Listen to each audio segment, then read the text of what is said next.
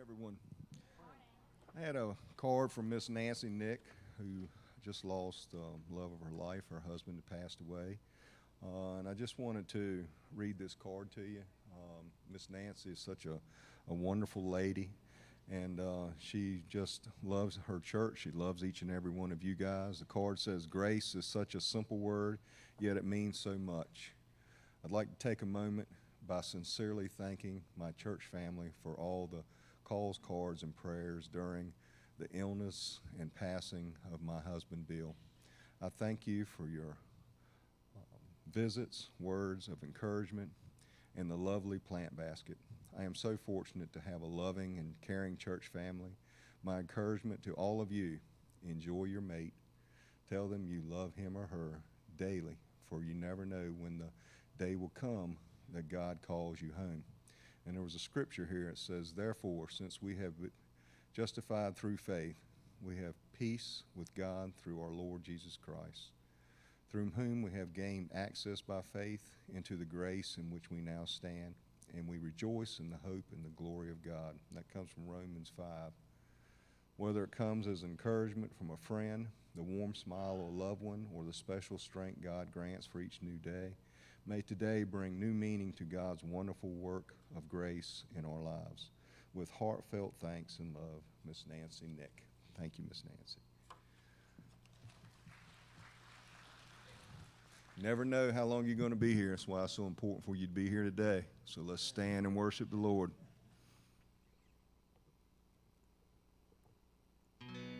Blessed be your name in the land that is plentiful, where the streams of abundance flow. Blessed be your name. Blessed be your name,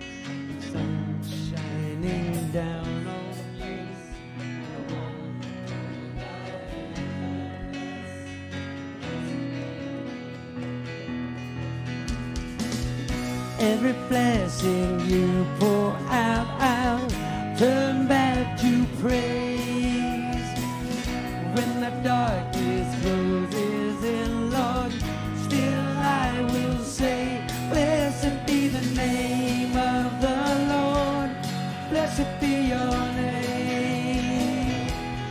Blessed be the name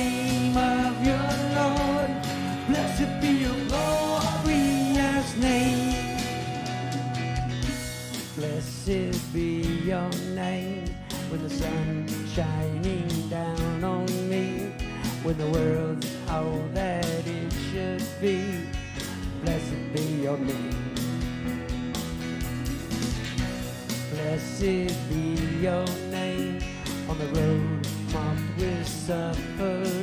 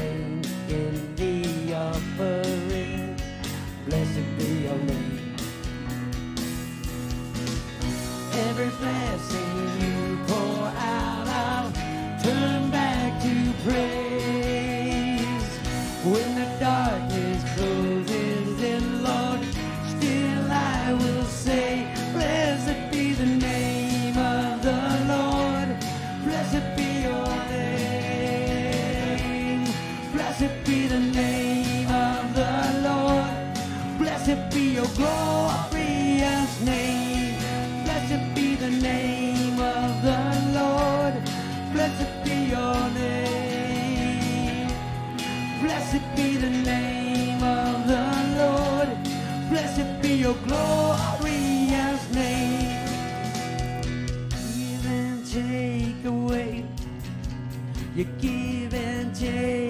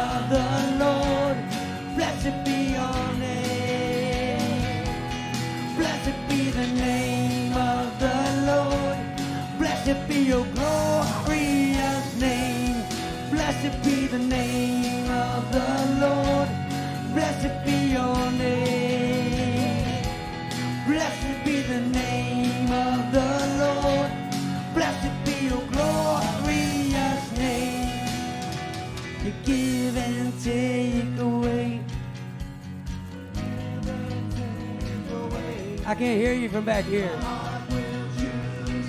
Hello? One more time.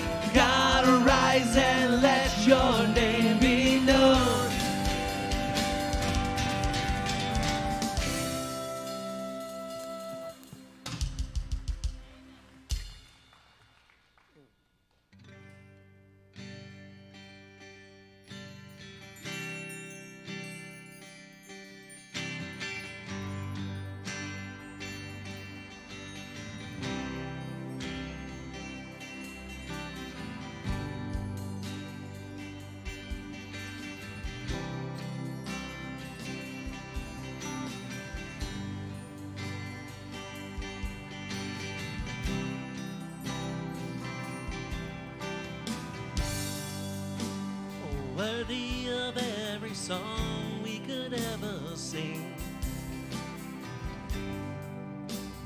Worthy of all the praise we could ever bring.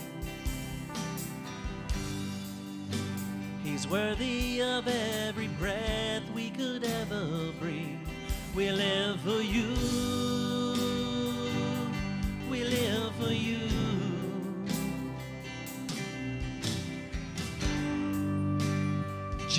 Jesus, the name above every other name. Jesus, the only one who could ever save. He's worthy of every breath we could ever breathe. We live for you. We live for you. Holy,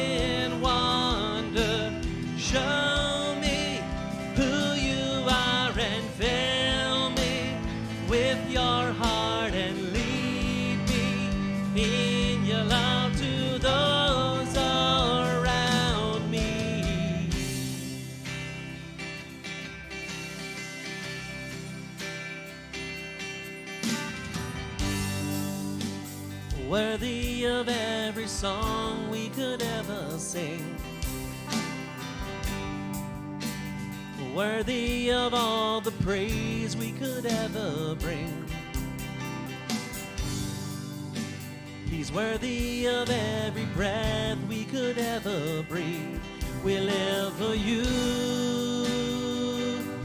We live for you.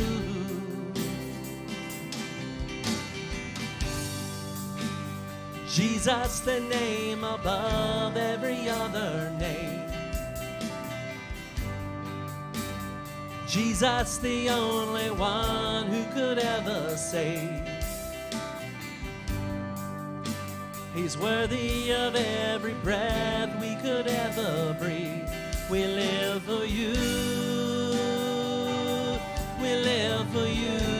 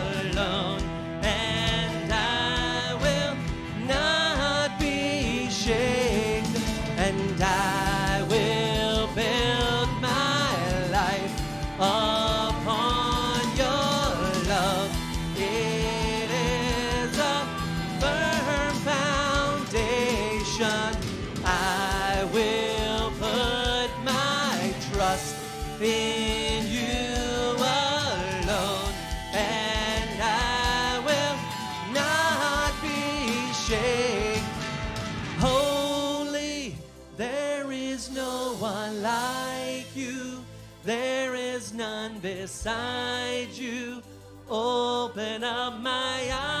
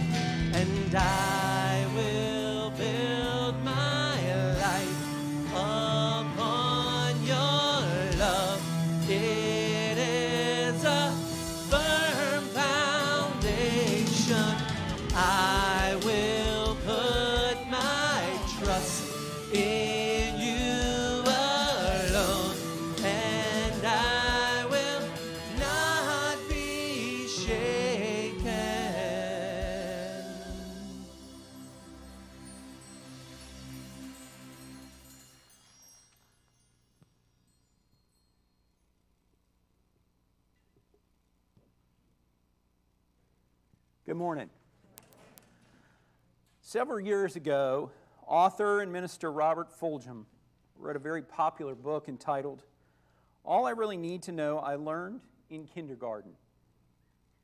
He stated in his introduction wisdom was not at the top of the graduate school mountain, but there in the sand pile at Sunday school. Among the things that he shared that he learned in kindergarten were these share everything, play fair, don't hit people, put things back where you found them, clean up your own mess, don't take anything that isn't yours, say you're sorry when you hurt somebody, wash your hands before you eat, flush. Warm cookies and milk are good for you. When you go out into the world, watch out for traffic, hold hands, and stick together. And my personal favorite, take a nap every afternoon. Young children have an unquenchable thirst for knowledge and an enthusiasm that cannot be duplicated. They run to get on the bus in the morning, and they run back to the house after they get off the bus, even though they're carrying those 50 pound backpacks with them. They raise their hands collectively when the teacher asks a question. When it's time to go to lunch, they all want to be the first in line, and every student wants to sit in the front row. But as time goes on and they move along in, the, in school, where does that enthusiasm go? They become less excited about answering a question. Lugging that oversized book bag becomes more of a chore. And they move further and further from the front row until they are all fighting for seats in the back, or at least looking for a tall kid they can hide behind so the teacher won't call on them. So it got me to thinking what's wrong with the front row? Dr. Paul Adams, a dean at Wilkes University, said in a recent article it's clear that students tend to do much better in class when they sit close to the front because they become more engaged in the class. When you sit in the back of the class, you have a tendency to get distracted and watch other kids instead of the teacher. And I'm looking this morning at our front row. There are some stalwarts who every week sit in the front row. Congratulations to you all. And I got to wonder, well, what's wrong with the front row? So I went and sat in the seats, and they're just as cushy and comfortable as the other seats. The only thing I can figure is that the reason people don't sit in the front row is that they won't have that little wire loop in the, underneath their chair to put their communion cup after they're finished. But I think it really is a, a matter of people having that safe barrier. Uh, you know, George, if I were to ask you a question, you have that chair in front of you to block any kind of attempt at the answer. I, I know you would probably duck underneath that chair if I, if I did. So, how can we apply this worshiping and where we should sit? Obviously, it would be impossible for everyone to sit in the front row. The location of your seat is, in fact, irrelevant. Whether you sit in the front, the middle, or back of the church, if your mind and your spirit are in the front row with the Lord, it's okay. It's all about giving God your best, regardless of where you're sitting. Good stewards recognize the blessing of God in their lives.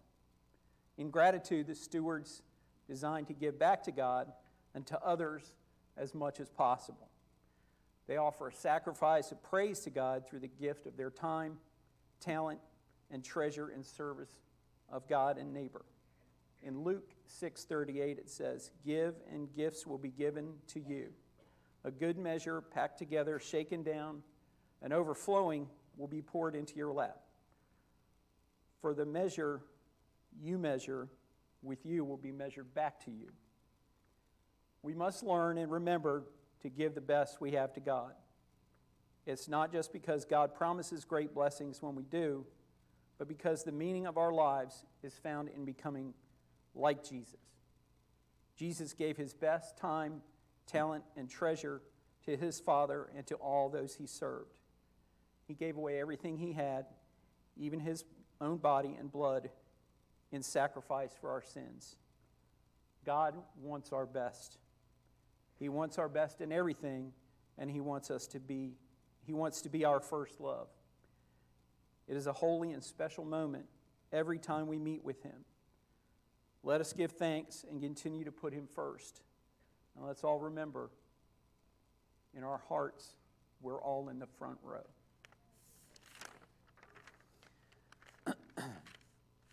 After our communion song, the men will come forward and distribute the cup and the loaf. Let us hold the gifts and take in unison upon the reading of God's word.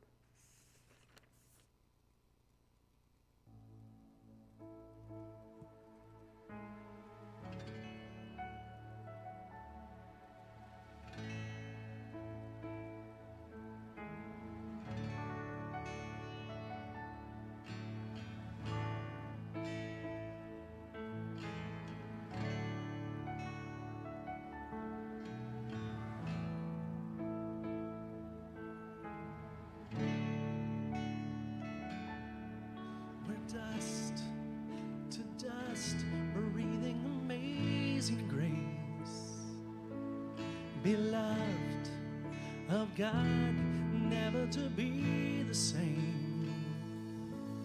Your name is great, and you are good, so good. And you always keep your promises. Your ways are loving us are so high, so high. So high, so high. Your ways are loving us so deep and wide, and never will they change. How I love your ways.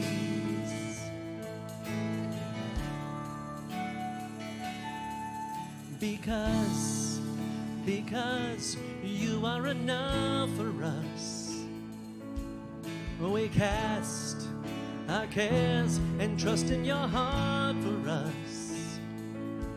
Your name is great and you are good, so good. And you always keep your promises. And you won't betray your faithfulness.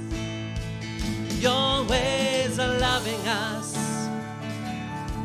so high, so high. Your ways are loving us so high, so high. Your ways are loving us deep and wide, and never will they change. How I love your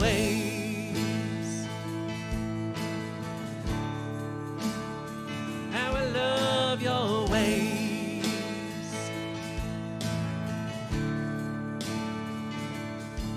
You are always good and good to all. You're the grace in every morning sun.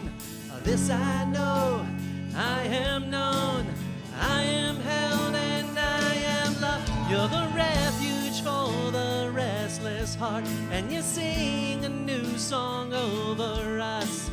This I know, I am known, I am held, and I am loved.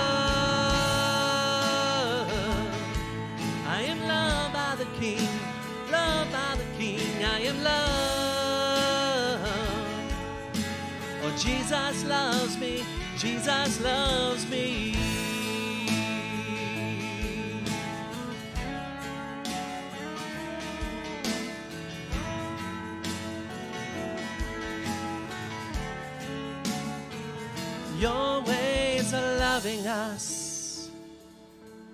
So high, so high. Your ways are loving us.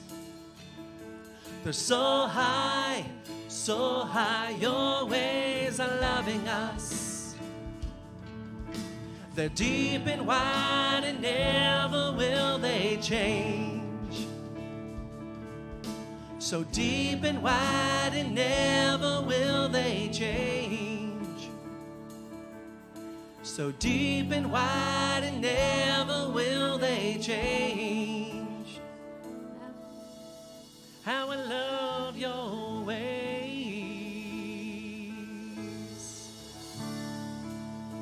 How I love your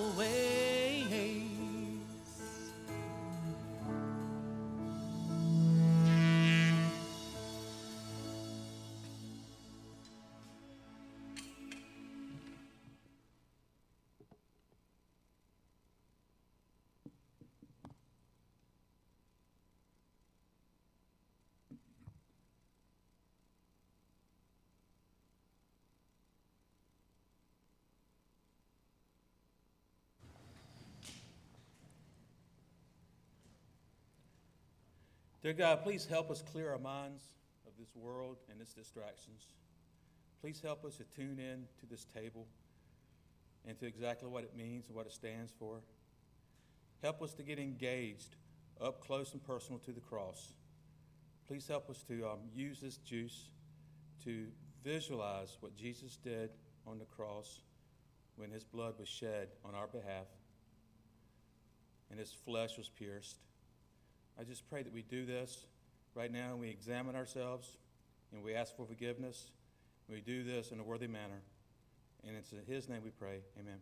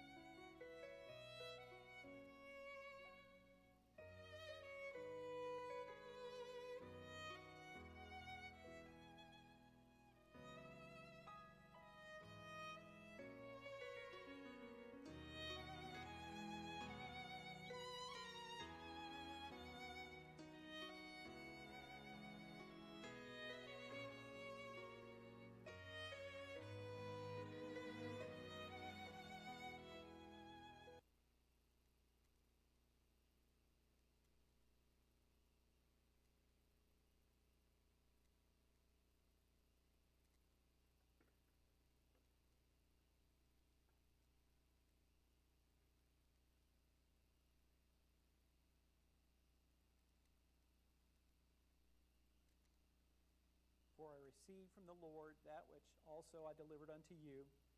That the Lord Jesus, on the night he was betrayed, took bread, and when he had given thanks, broke it, and said, Take and eat. This is my body, which is broken for you. Do this in remembrance of me.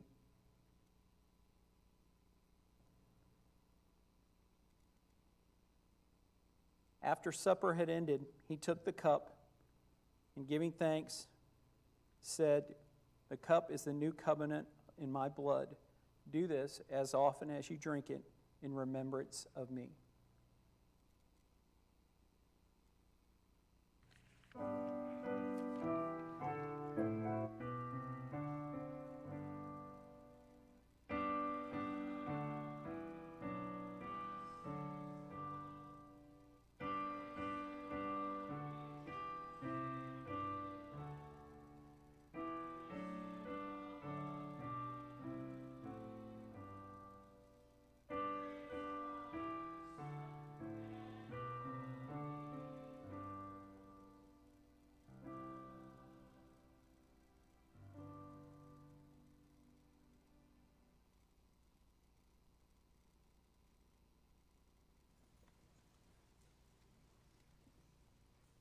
Father heaven, you have blessed us in so many ways, and Lord, Lord, we know that the cattle on a thousand hills are yours, but Lord, you have given us the opportunity to, to share in these blessings and to, and to be stewards of, of your many great blessings. Lord, now we come to worship you by returning a portion of these blessings back to you. Lord, we pray that you will help us to be good stewards of the gifts that are, that are given, that we might share your word with, with, with those who, who need to hear it. Lord, again, we thank you for all that you are. In Christ's name, that you pray. Amen.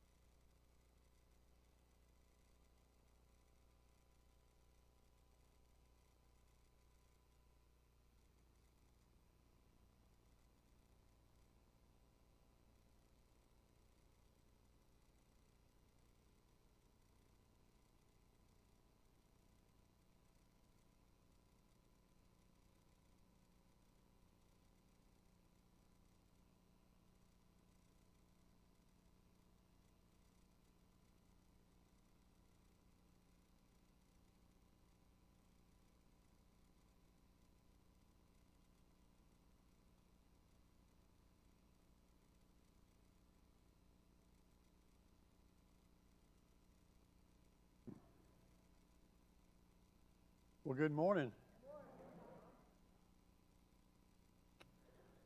I found out yesterday afternoon that I was going to pinch hit for Ron today.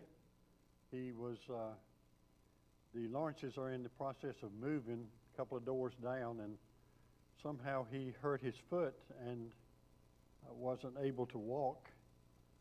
And he asked if I would uh, pinch hit for him. He said, uh, get something out of your hip pocket and uh, use it. And I don't carry my sermons in my hip pocket, but I do have a file. And uh, I'm not the kind of a guy who can come up with a sermon in a couple of hours or so. It takes me days. I know it doesn't always show it, but it takes me takes me days. And so I begin to wonder what I would say today and me being a Psalms oriented guy like I am, I immediately went to the Psalms. I got home and Mary said, I knew that's what you were going to do. Since there are 150 of them, I had to make a decision about which one. So I started with number one. And as I began to read, I realized that I didn't need to look any farther.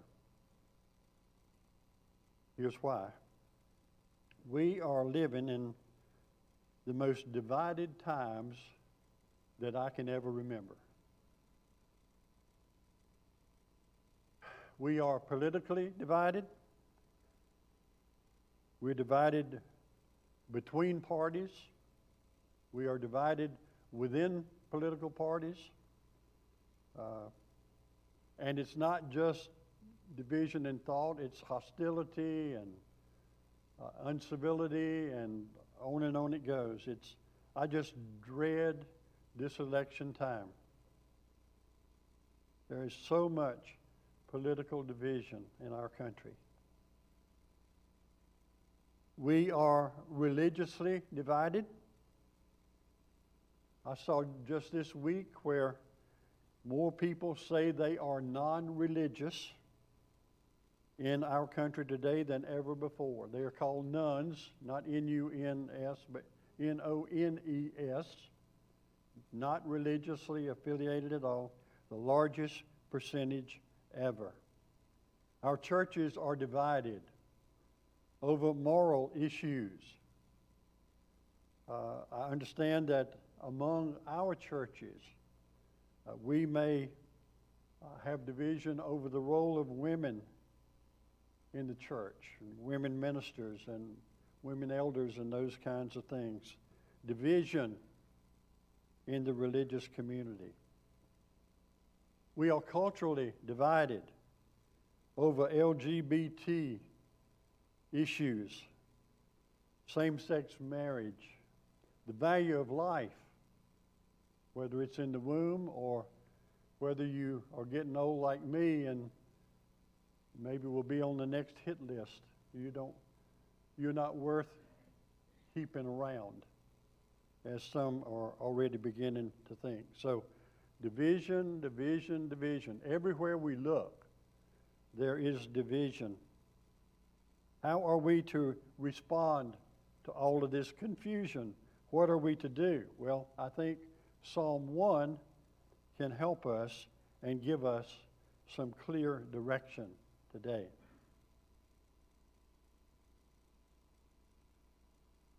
Blessed is the one who does not walk in step with the wicked, or stand in the way of sinners, or sit in the company of mockers, but whose delight is in the law of the Lord, and who meditates on his law day and night.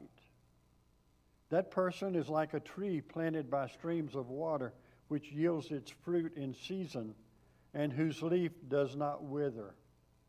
Whatever they do prospers. Not so the wicked. They are like chaff that the wind blows away.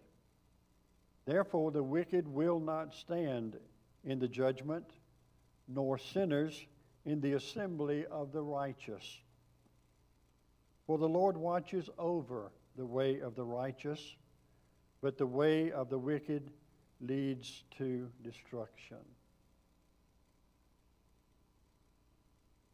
This psalm points out a consistent theme that runs throughout the Bible. And that theme is this there are only two ways to live our lives. They're described in the very first book of the Old Testament. At the very beginning of Genesis, when God created Adam and Eve and placed them in the perfect environment of the garden. They could either choose to walk with God or go their own way. That theme continues in the very first book in the New Testament.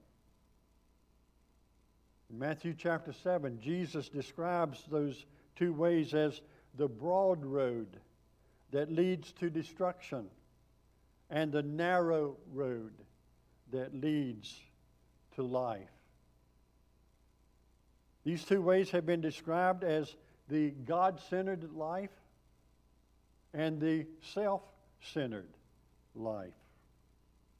Psalm 1 describes it as the way of the righteous and the way of the wicked. Each one of us today is following one of those two ways. Let's think about them. Think about the way of the righteous. The first thing to notice is that it's the happy way. It says, Blessed is the one. The Hebrew word is much more descriptive than the English word. Uh, it would go something like this Oh, the happiness many times over is the person who travels this way.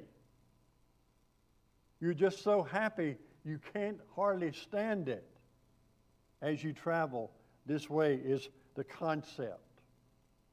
But our culture tells us that happiness is found in doing things our own way and having lots of those things. But reality tells us that that's just not true. Some of the unhappiest people that you will ever meet are those who have tried all of those things and who have all of those things and they didn't find happiness at all. Because you see, true happiness is only found in following Jesus. In John chapter 10, verse 10, Jesus said this I came that we could have life to the full. The abundant life is what the scripture is talking about.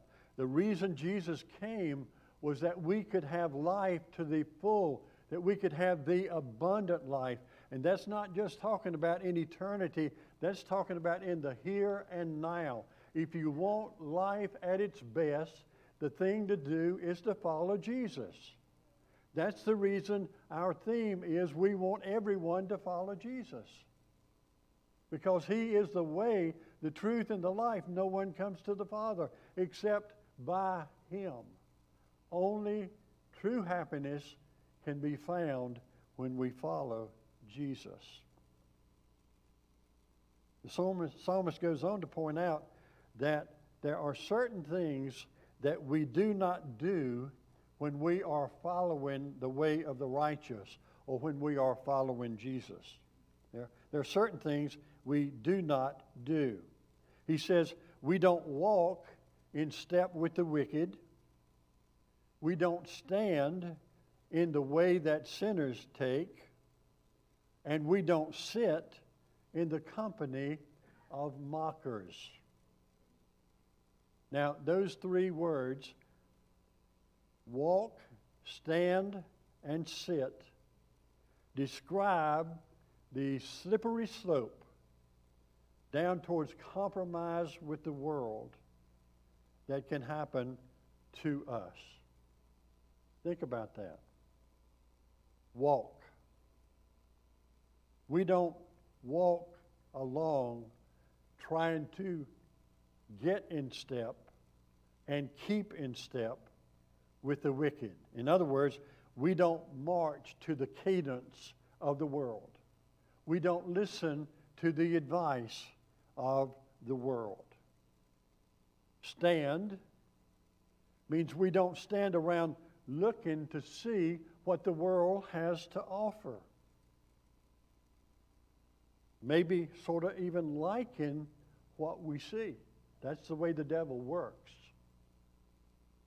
He always packages the consequences of sin in nice packages that look good and entice. But we don't stop to take a look at that. And then he says we don't sit. We don't sit down. We don't become like them or a part of them. We don't participate with them in the things of the world. We must avoid that slippery slope by not listening to the world's counsel, adopting its practices, or becoming comfortable in its ways. 1 John 2, chapter 2, beginning in verse 15, the message says, Don't love the world's ways. Don't love the world's goods. Love of the world squeezes out love for the Father. Practically everything that goes on in the world, wanting your own way, wanting everything for yourself, wanting to um, appear important, has nothing to do with the Father. It just isolates you from Him. The world and all its wanting, wanting, wanting is on the way out. But whoever does what God wants is set for eternity. So, these are things that we don't do if we're going to walk in the way of the righteous. But it's not always a things that we don't do that are important. It's things that we are to do that are important as well. And so the psalmist, instead of dwelling on the things that we don't do, he says, Here are some things that we do. We delight in the law of the Lord, and we meditate on it day and night. In other words, we delight in reading and obeying God's Word. We delight in it. Delight means to have a high degree of pleasure in something, to really enjoy it. And I want to ask this morning does that describe how you feel about reading God's Word? It really ought to, but does it? Let me give you a tip. We won't delight in reading it if we don't delight in obeying it. If it constantly rubs us the wrong way, that might be a hint that we are going in the wrong direction. We're not going to delight in reading it if we don't delight in obeying it.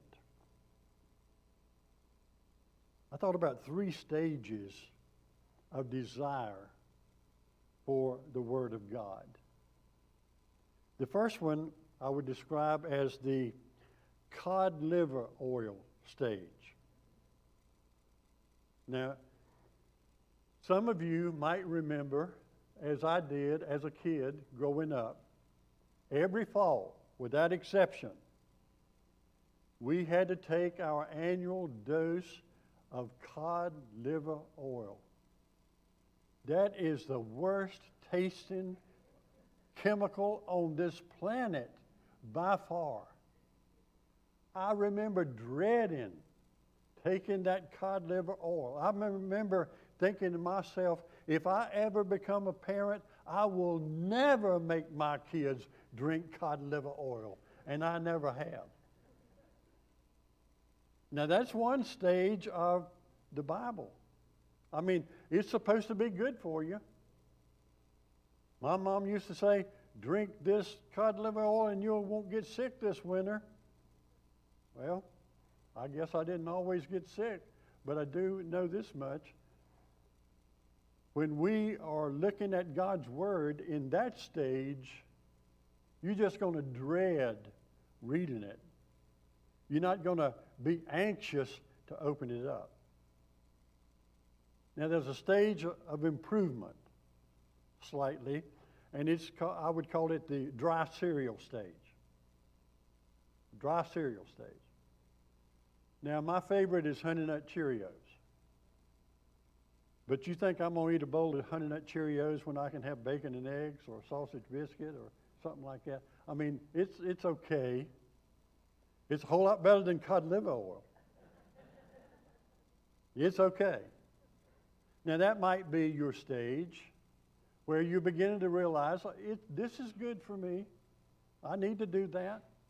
And so we go through that stage. But then there's a stage that we ought to be all the time, and that's the pie and ice cream stage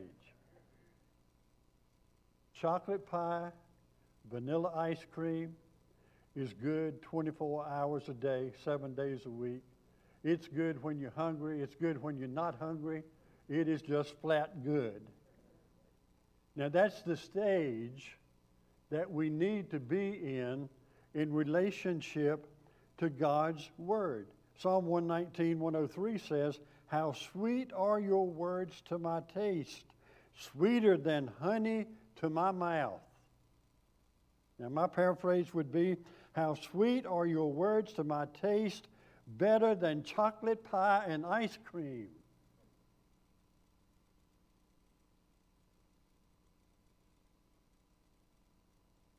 He says that we are to delight in it and meditate on it day and night. Now, to meditate on something means to really focus on it, to really concentrate on it, and to keep reflecting on it over and over and over again. That doesn't mean we don't do anything but sit around and read the Bible all day, every day. Obviously, none of us are going to be able to do that. But what it does mean is we fill our minds with God's Word so that we get to the place where we can rely on what's in our minds that we have read and meditated on, and it will guide us in our actions and reactions as we live our lives from day to day. I think about when Jesus was tempted.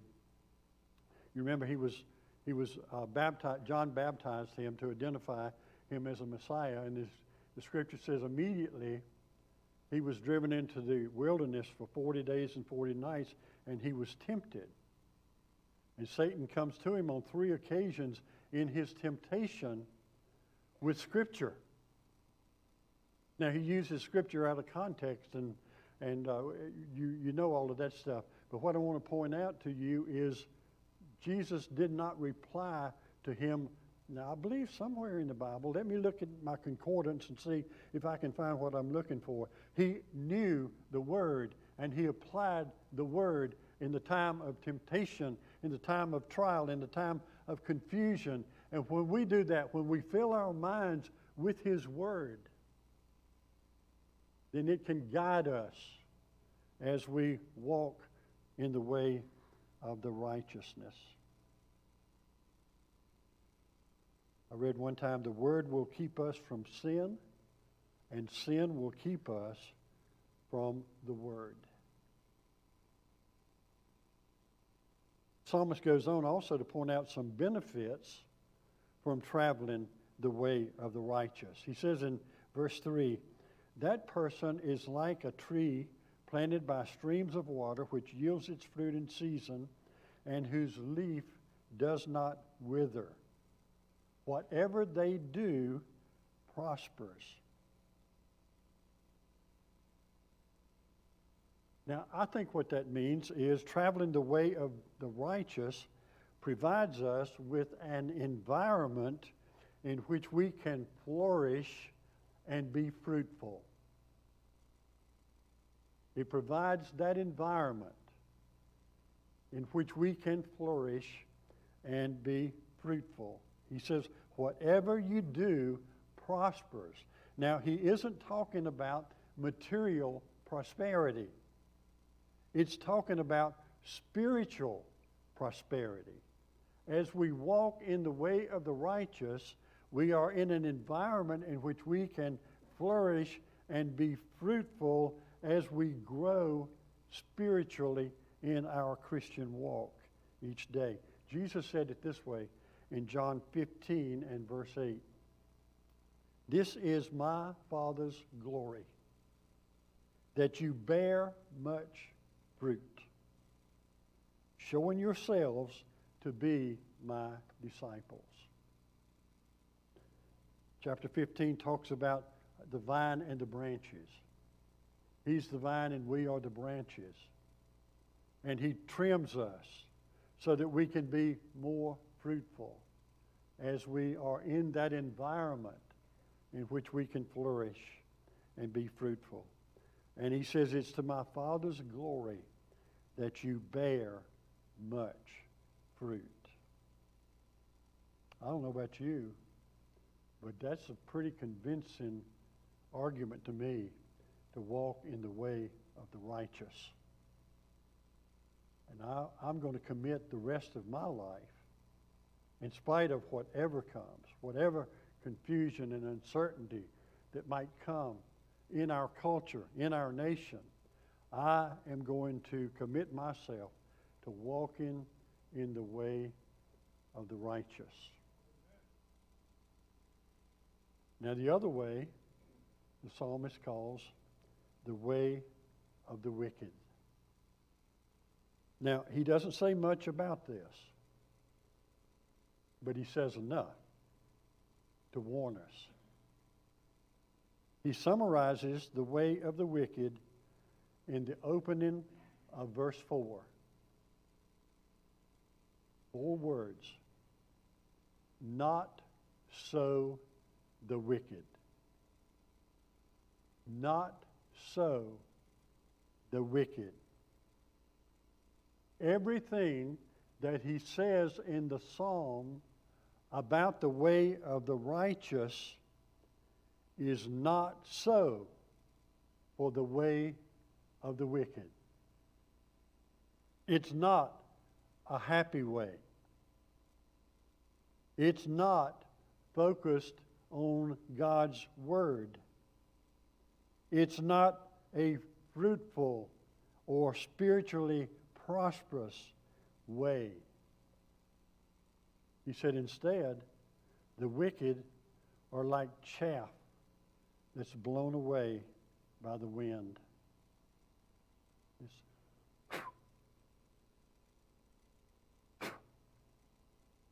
the wicked are gone. They will not be able to stand in the judgment. They will not be in the assembly of the righteous. In other words, they will not be in heaven. They will perish. The two ways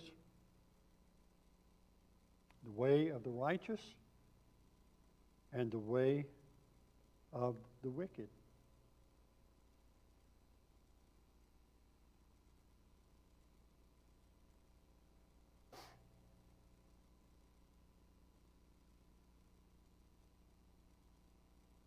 We can never get to the right place if we are on the wrong road.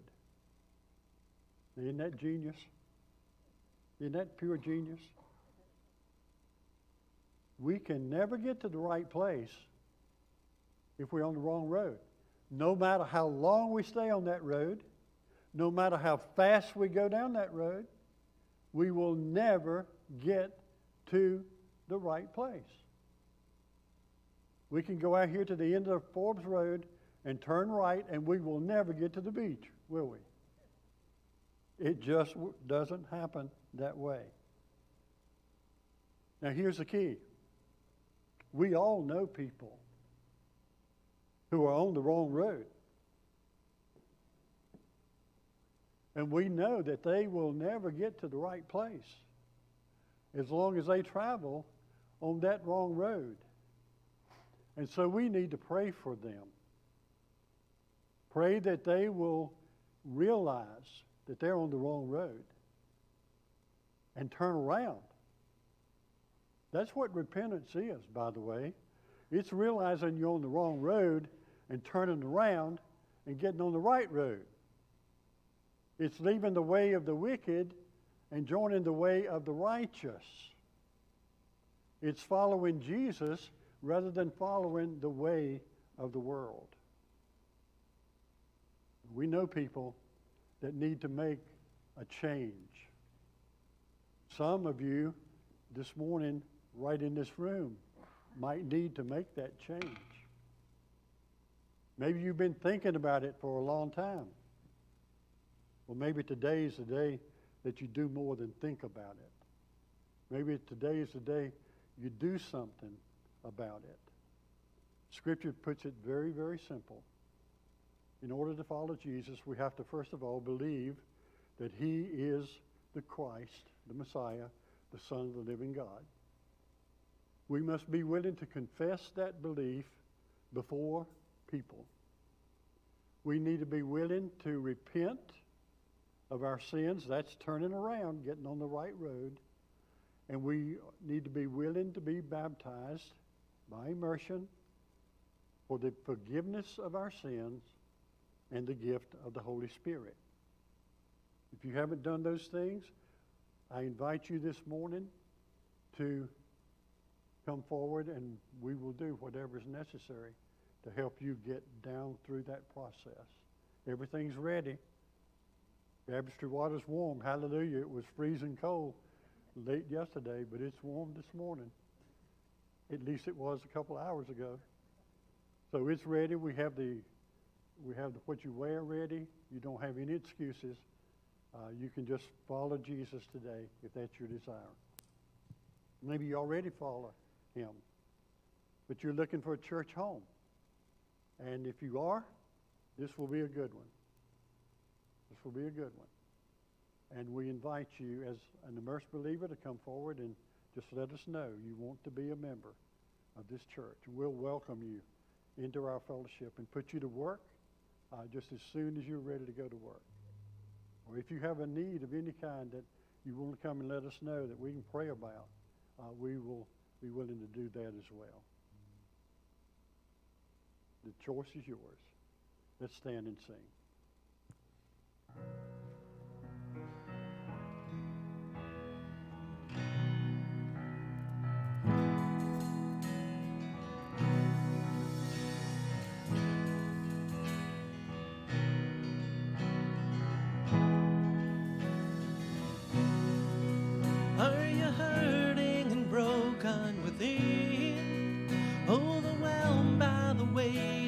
Sin?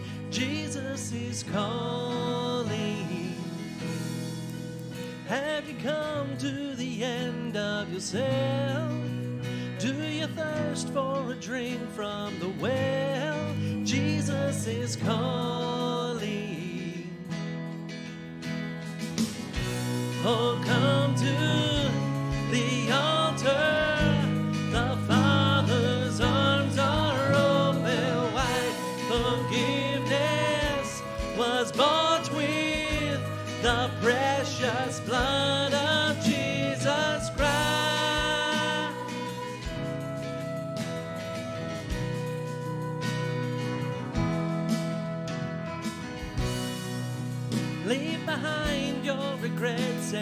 Mistakes. Come today, there's no reason to wait. Jesus is calling. Bring your sorrows and trade them for joy. From the ashes, a new life is born. Jesus is calling. Oh, come to the altar. The Father's arms are open wide. Forgiveness was bought with the precious blood of Jesus Christ. Oh, come to the altar. The Father's arms are open wide. Forgiveness was bought with the precious blood of Jesus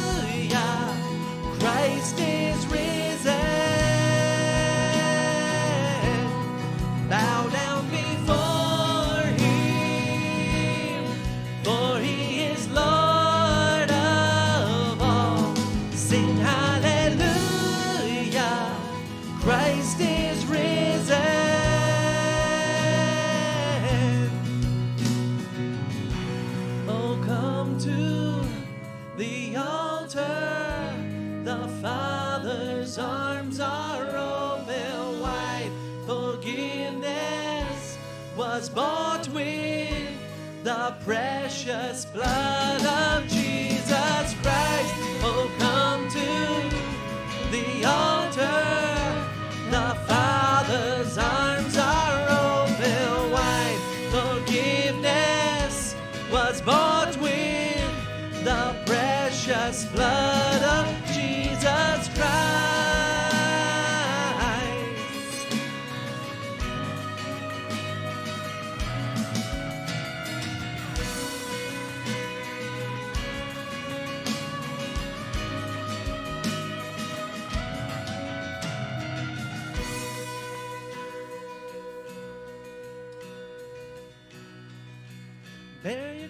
cross as you wait for the crown. Tell the world of the treasure you found.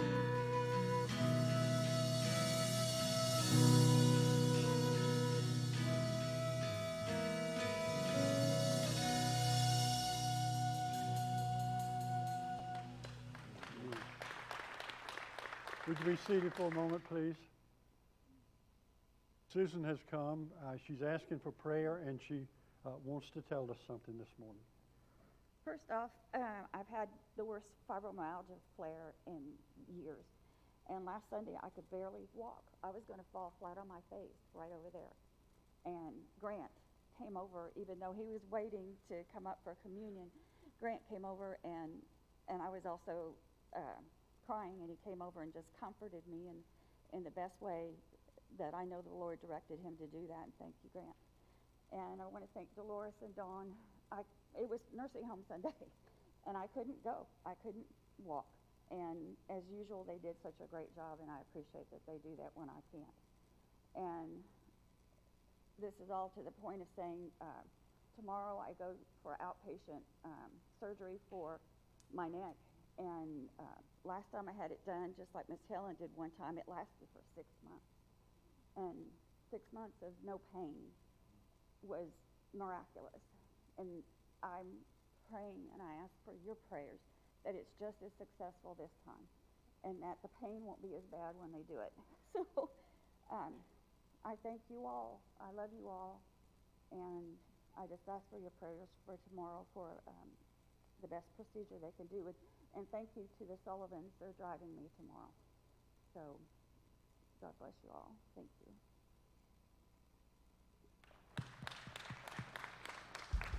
Uh, why don't we just pray for her right now? And if you would like to come and just surround her, and we will have a time of prayer for her, just get up right now and just come, and we'll just surround her with our love and with our thoughts and prayers that God's going to be with her tomorrow. Thank you, Tom. You need to hold me up a little bit. Do you want to sit down? Mm-mm. Okay.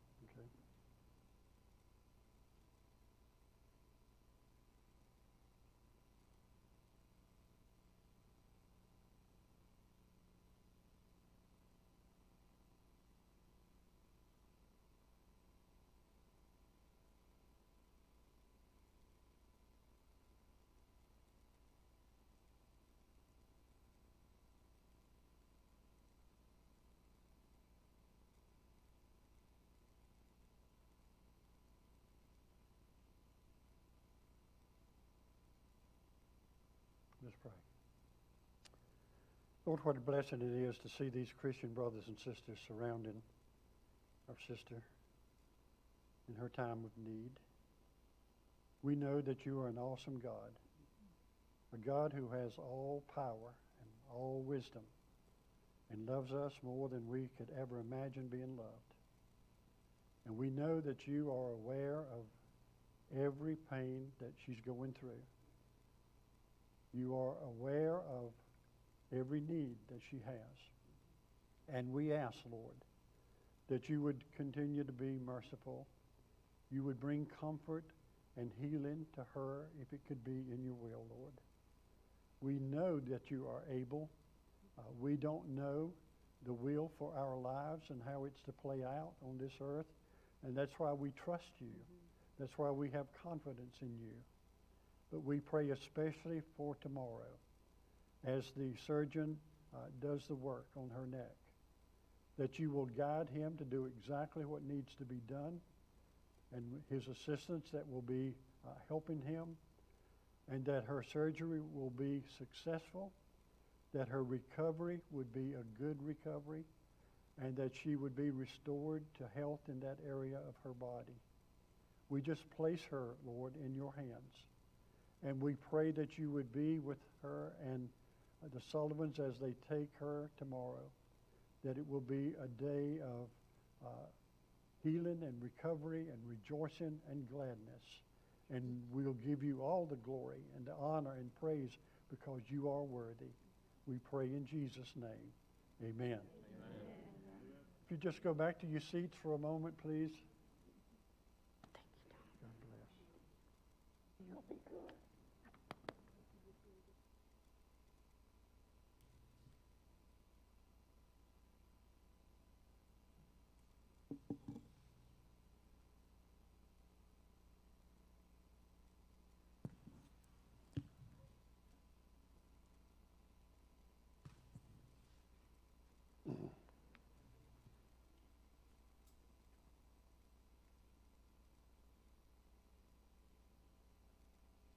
If this is your first time at Jarvisburg, we want to say welcome. Uh, we are so happy that you came. We hope that you are happy that you came and will already be making plans to come back. Uh, I'd like to ask you, if you would, to stop by the Welcome Center as you leave out in the lobby. It'll be to your left. And today, that little short, cute lady will be out there uh, where I'm usually there. Uh, she will be there to greet you and uh, get some information from you and pass along some information to you. So keep that in mind. Even if this isn't your very first Sunday, but you've never stopped by and picked up that information, we'd like for you to have the opportunity to do that. This is a bulletin. If you didn't get one on the way in, I hope that you will get one on the way out and use it as a reminder of the things that are going on uh, in our uh, program for this week. Uh, the ladies' breakfast is uh, this coming Saturday, so keep that in mind. This Wednesday night is our uh, fellowship meal, 6 o'clock before our uh, Bible study at 7. The theme is Italian. Uh, we are asked to bring desserts, and so if you are interested in that, there's also an announcement about Ron beginning a new study in the book of Acts on Wednesday night, and some other things in there uh, that you can use as a reminder. Also, there is a prayer insert there with lots of prayer requests. It's, it's amazing the prayer requests, and uh, be, a, be sure to pray about those things as well. Kenny?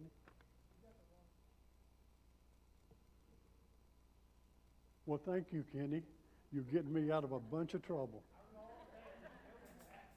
I need all the help I can get. So it's not this Saturday.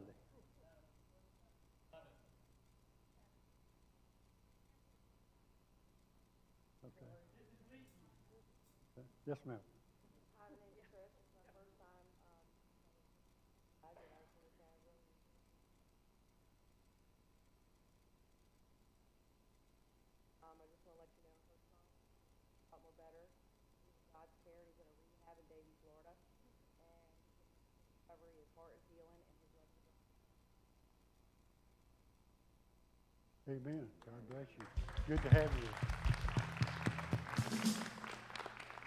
He is a good, good father, isn't he?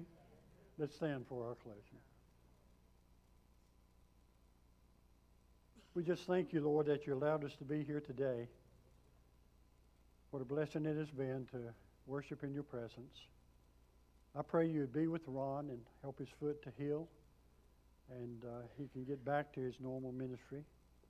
I pray you would bless us as we go our separate ways, we'll walk the way of the righteous follow Jesus. In his name we pray. Amen.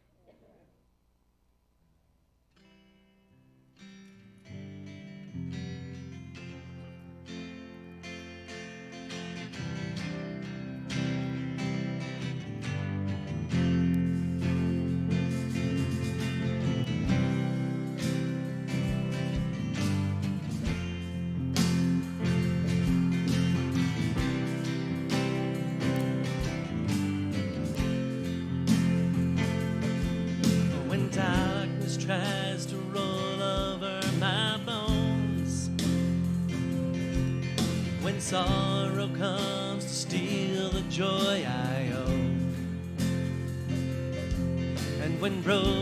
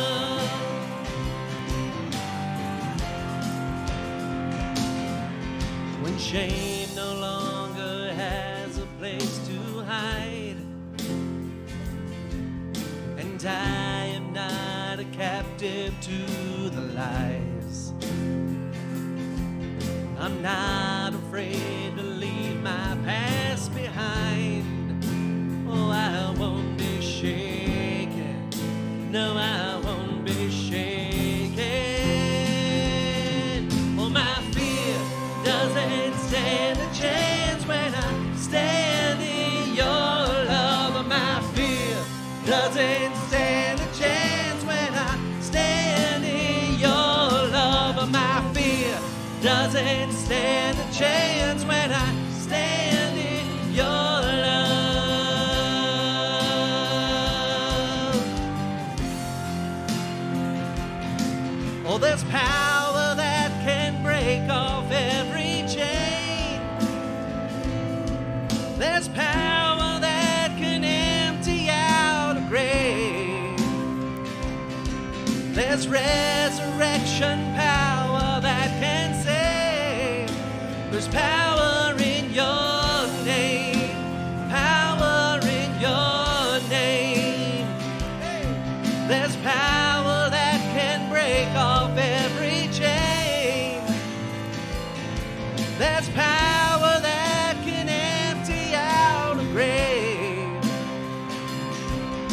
resurrection power that can save.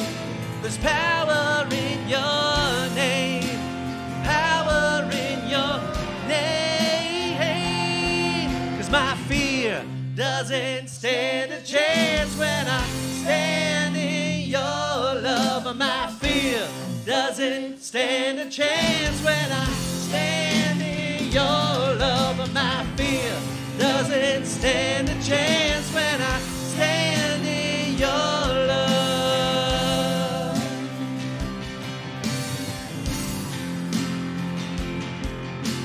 Fear doesn't stand a chance when I stand in your love. My fear doesn't stand a chance.